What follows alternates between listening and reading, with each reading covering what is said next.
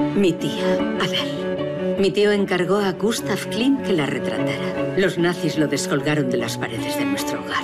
Y desde entonces lo exhiben en Viena. Y ahora quiere reunirse con ella. Es la Mona Lisa de Austria. ¿Crees que dejarán que se la lleven así como así? No pagaremos por algo que creemos que es nuestro. Tu abuelo estaría orgulloso de ti. Estás manteniendo los recuerdos vivos. La Dama de Oro. Un cine digno de tu mirada.